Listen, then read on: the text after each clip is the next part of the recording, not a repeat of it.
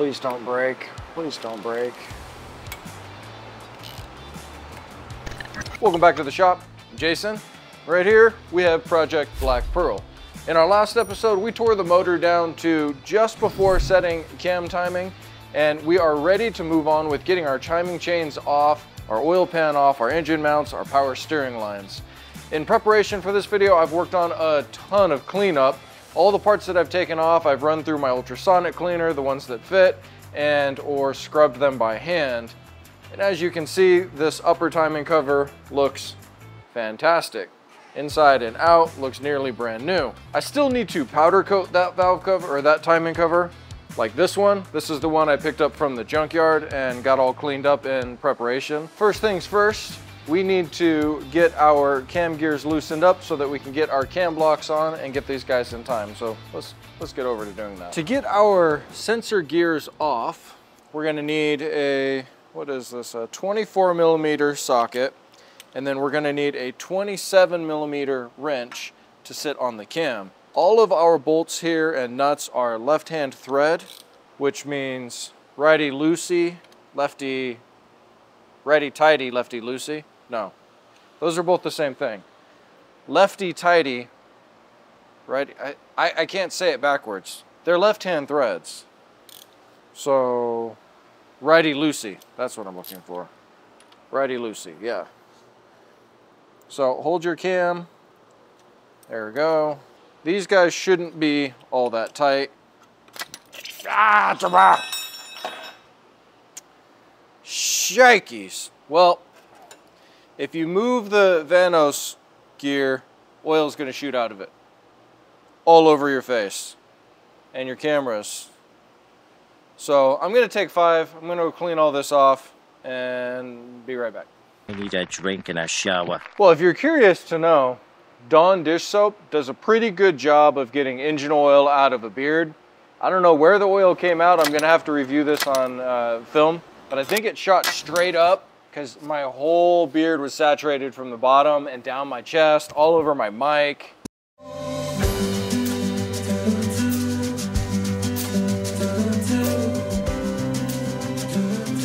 But I mean, if Dawn dish soap is safe for a baby duck, it's safe for me, so I'm good with that. Lesson learned here.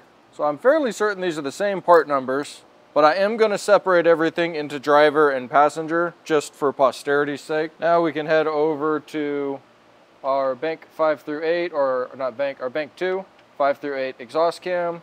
Okay, hold your cam.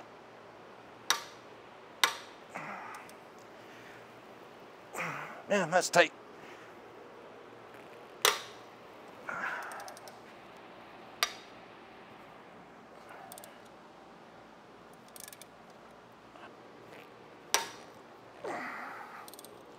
Your intake cam on bank 5 through 8 has some pressure on it, so as soon as that bolt released, the cam rotated over, so we will have to, on this side, advance it to get our cam block on. Our kit from German Auto Solutions comes nicely marked here, this billet aluminum block. It comes with a little wing nut to lock the block down. There should be no pressure to get this guy in here. Now that we're all unbolted.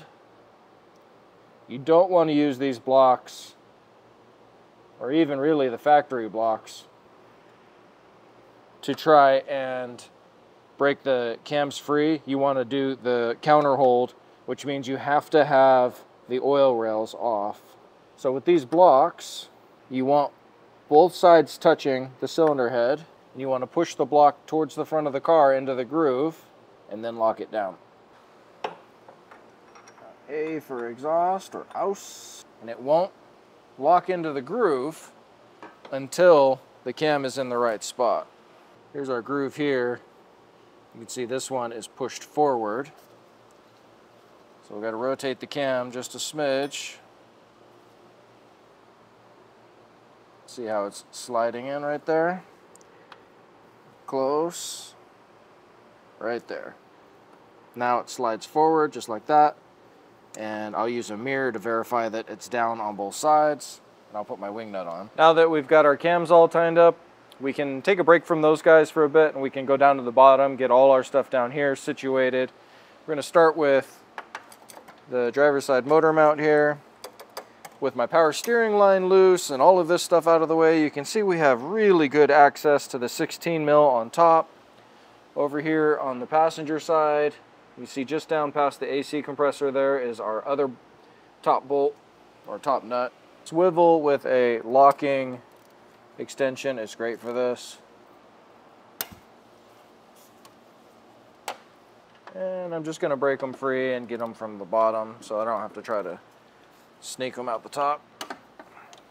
Now while we're at it, let's get our power steering lines off and out of the way. We need to start by removing this line first. That's the back bolt. That'll give us better access to our front bolt that will be much easier to get to once we drop the subframe. Well, I forget, forgot a uh, pretty important step before you go and lower the uh, subframe. You got to support the engine somehow. Thankfully, I've got this engine support. If you don't have an engine support, you can support it from the transmission. I really don't like that, but it's possible. Now I had to modify this one to fit on my X5, which means it doesn't quite fit on here just right. And I've got these standoffs, but with some rubber isolators under here, I found I can make it work. The BMW tool supports the engine from the front and the back with a load leveler. That's really nice but this is gonna hold the engine up just fine. So underneath here, I've started by getting access to my rear subframe, pulling these little plastic covers off. I'm going to take the metal heat shield off over here. I already got the screws out of it. That way I have better access up to my steering box. I might want to just take that off, get it completely out of my way. See this guy pulls off. We've got one, two, three screws, and then this one stays attached to our positive lead here. On this side, I'm just gonna loosen this side of the positive lead so that when we drop the subframe, it will have somewhere to go. And that's gonna definitely need to get cleaned. Just drop that in the ultrasonic cleaner. It's not even on right now, but it'll soak a little bit. Now we've got much better access to the back of our steering box to get our gear off. I always like to hit these with WD-40 before I start to go to town on them. You've got a nut and a bolt. Thankfully, where it's currently positioned, looks like I'll be able to get it off right there. Yep. bolt out, and then you're gonna spread the uh, gear open just a little bit. Looks like our nut is actually captive, which is really nice. Well, it seems like the oil leak sufficiently lubricated this so that it's just popping right off. You really don't want to try to drop the oil pan with your timing pin in there because, well, it's not going to drop. We're going to take our four lower bolts. These, I believe, are E10 or E12 to the back of the oil pan. Before I drop the subframe, I'm just working my way around, trying to get some of these accessible bolts out. We've got these two 13s on the back here holding the power lead on one side and on the other side. It's just a big bolt. Then it should just be a minefield of 10 mils. We are gonna have to drop the oil pump as well before we can get the pan down. So don't get too overzealous like me. Get too far into it and go, oh no, I still have to drop that. You need to pull your starter lead off as well. On this side though, you have your oil filter drain back. Do have to get that off and you're gonna want new seals for it. I did not order seals for it initially. I had to order those yesterday. They'll be here next week. But you can get the pan back on even with those without that line on there. To get the pump out, we gotta start by getting our cover off here. These are 10 mil, and these are also lock nuts. I'm gonna go back on with a little bit of blue Loctite when we're going back together. Now before we take the pump down or unbolt it, let's measure our chain deflection. Push all the way over, we're at 20 millimeters. If we go all the way over to this side, we're at 10. So it looks like we have about 10 mil of deflection. This side has closer to 12, which is actually right within spec, I believe. I think it's 10 plus or minus 2. So that's what we're going to shoot for going back together with our new chain. Let's see. Yep, conventional thread. Slide our gear off. Now we've got three 13s to drop the pump. And if I had to guess, we're gonna have some oil come out. You got one on the back, hiding back here. We'll Loctite that guy, that's a lock nut. This one on the passenger side with the bolt. This is our adjustment point here. Wow, it's got a lot of Loctite on it or something. Oh boy. It looks like it's just covered in Loctite. Thank God. I thought it was pulling threads out. Definitely gonna run a thread chase through that sucker. Goodness gracious. Now, don't forget, you've got your drain back tube. And these both have O-rings. One O-ring will go here, one O-ring will go here, and one will go in the pump. Now we can buzz out our last two bolts. Yep, just like that. Before you drop the subframe, disconnect your headlight leveling harness up front here. Otherwise, you'll wind up breaking that. The headlight level bracket is attached to the subframe, so we're solid there.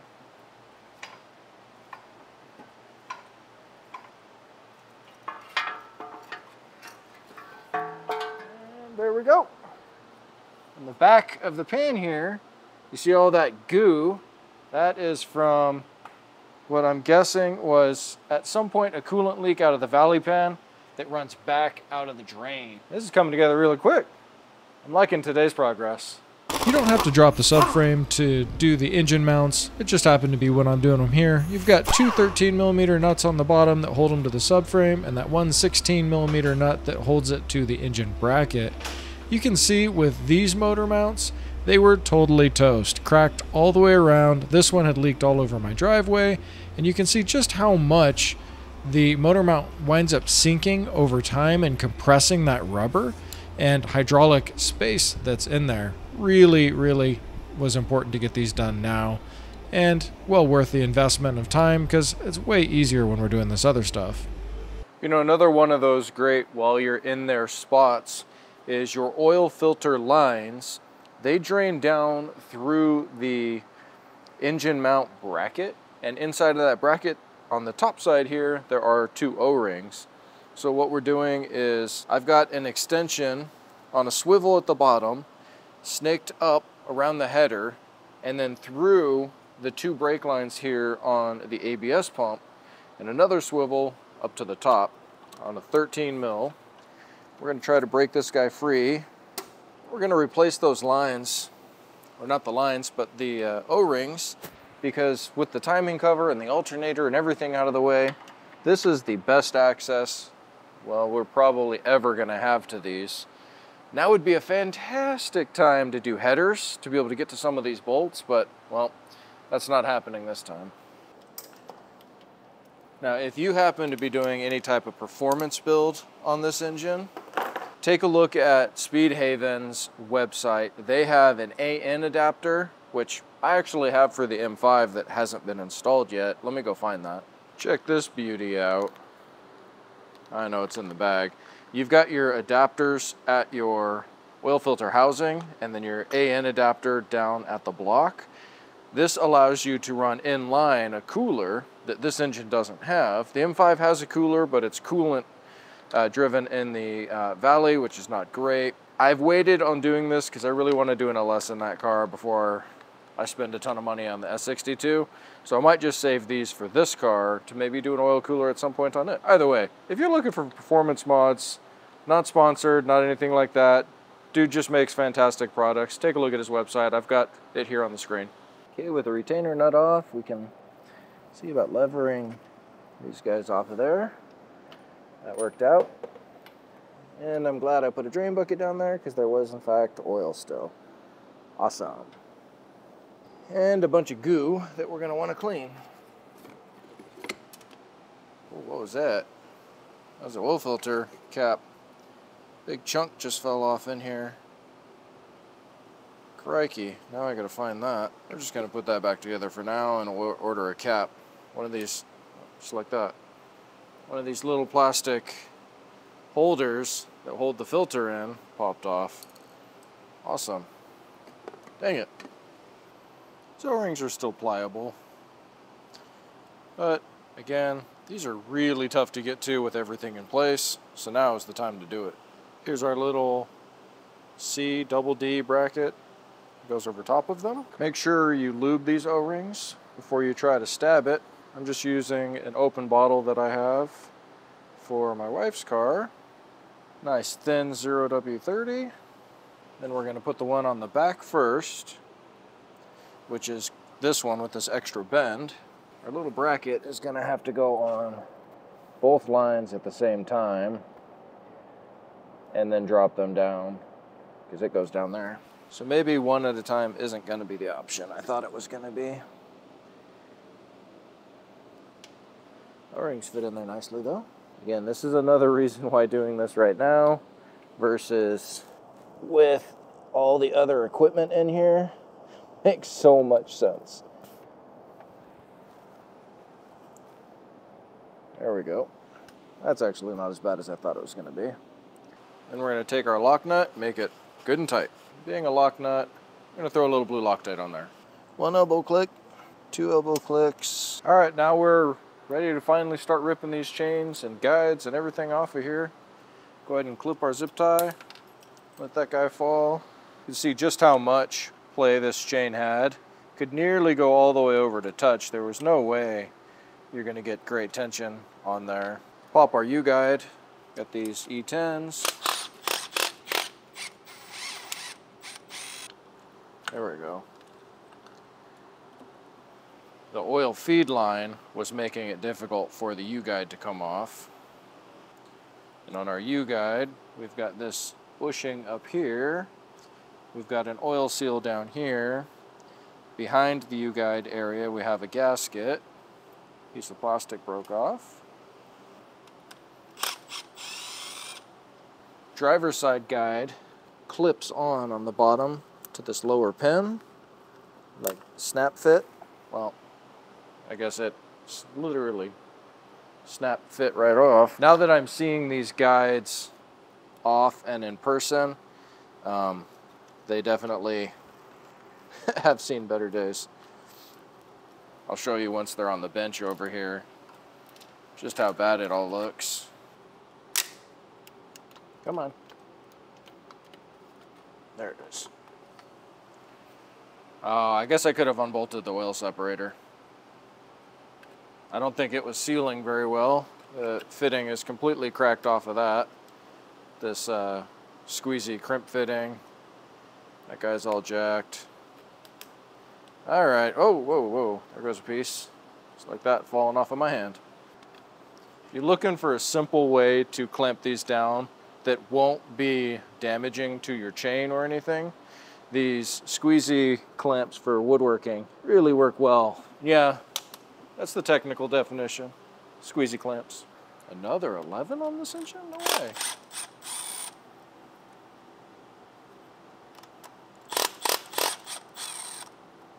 Then we can take our intake bolt out and we'll take our gears and everything off together. Obviously don't use a hammer to take these out if uh, you're going to be reusing them. I got whole new tensioning units instead of just the caps, so I'm not reusing them. The O-ring seal on the bottom looks like they both stayed in the cylinder heads. I got new ones on my new units. All right, and our last while we're in theirs, we're going to be replacing the camshaft seals, this gasket behind here, and our one-way check valves. We're to need to take our Vanos solenoids off. Means I get to test my new Vanos solenoid socket. Obviously you could use a uh, wrench here. Pick this guy up on Amazon. Link will be down in the description. I'll be able to use this to install my solenoids since you don't get this socket with the German Auto Solutions kit. I bought it in separately. All right, these guys are held on with E10s.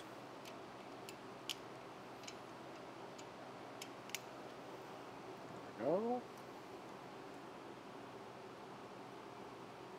And we've got new cam seals as well. And then here is our one-way check valve for our oil. Got to decide if I'm going to run these bad boys through the uh, ultrasonic cleaner. Kind of having too much fun with that. Uh-oh. This one's stuck. So this should just slide right off of these cam seals.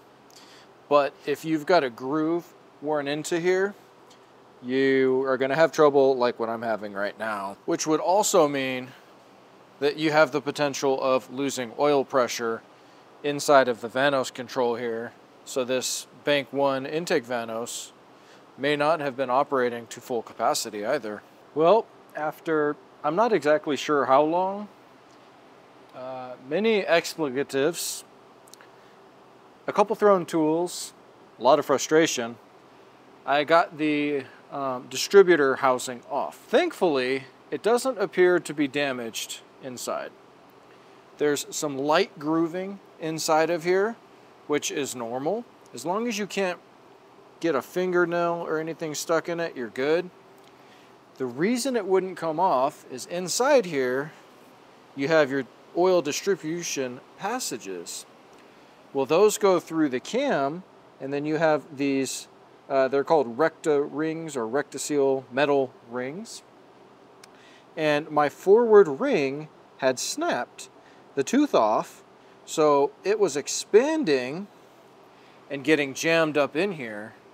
So as soon as I opened it up, it got stuck in there and I couldn't get it on or off. Where this side over here, they should all just boop, boop, boop, boop, slide right on. Uh-oh. And slide right off. Did I just break this one? No. Okay. So just be aware the that can happen. What I wound up doing was shining a flashlight in the front here and I could just see this ring stuck in there. And I used a really small pick, just the tip of it, to uh, get in here and I pushed it out. I couldn't tilt it and get this off because the pick was in the way. So what I had to do was just gently push the ring until it wasn't jammed up in that opening. What a nightmare that was. I was already shopping for parts. I was checking the local junkyard to see if they had any newcomers of one of these. And man, was I freaking out thinking, this is a $150 part. I don't want to buy that. I've already bought everything else. Thankfully, came off. All right, so let's take a look at what we have. At the end of the day, I'm very glad we decided to do this and that the cleanliness inside the motor was not an indicator of these being done. I do think that at some point in the lifespan of this vehicle, it was overheated. Um, maybe not to the point of cylinder heads, which would be my first guess maybe back in the day. And the reason that I think that is when you've been working on cars long enough and you've worked on enough overheats, you know what it smells like when oil goes from fuel laden and just um, carbon soaked to cooked. And what happens is all of the little bolts that are sitting in oil all of the time, like a fresh Cuban cigar, they don't let go of that smell. So I've taken a number of things apart and gone, whoo, ooh, that's gross. That burnt oil smell was there. Now, I'm not having any running issues, um, and I didn't have any running issues purchasing it, so I'm not saying that was a problem. I'm just saying something I noticed over time. We had that issue getting our distributor block off of bank 1 through 4. That was because the recta ring seal had failed and broken apart, which means we were probably losing some oil pressure to the intake vanos, either on the um, expand or retract cycle, I don't know. Not enough to make a fault, but probably not enough to make a balanced power output. As far as our guides, it's a good thing we're doing these. So our center guide is usually the one that goes first. And you can see here on the bottom, it's worn all the way through, almost to the point of contacting the metal. Thankfully, it's not on the tension side, it's on the, well, it's bank 5 through 8 side. So while yes, it's wearing through, normally you'd wear through on the bottom and it'd start eating the metal underneath. And it would start pushing aluminum through the engine. Not a great thing. My oil separator separated into multiple pieces. This housing up here probably wasn't sealing all that well. And then our timing guide on this side broke clean off of the oil separator here where it's supposed to be mounted. It has some nominal wear for sure. And then both of our secondary chain tensioners up top have a decent amount of wear. So a lot of particulate matter floating through the engine that just didn't need to be in there. This is a fantastic time to be doing this. When I take apart my Vanos drive units, I'll measure to see just how far out of spec they are as far as the crimping pressure, and we'll see what everything looks like. We're going to end this one here on the teardown. Next episode, we're going to rebuild the Vanos units, replace our Recta seals, and we'll get all of our timing gear installed back on. That'll probably just be an episode by itself or video by itself. There's lots of little rings and stuff to deal with here. So thanks for watching. Take a look at some of my merch down below. Help support the channel, keep these projects going. Working on cars isn't cheap and a YouTube channel working on cars is about the dumbest thing you could do. It's just a money pit. But man, is it fun. And I really enjoy responding to comments. I respond to everybody's comments. And if you've made it this far, put down in the comments, I made it. Thanks for watching. Really appreciate it.